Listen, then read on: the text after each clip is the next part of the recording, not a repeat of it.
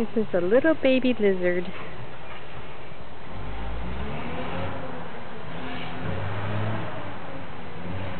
He's really cute. You, he's so tiny I can hardly even feel him on my finger. I think he's adorable.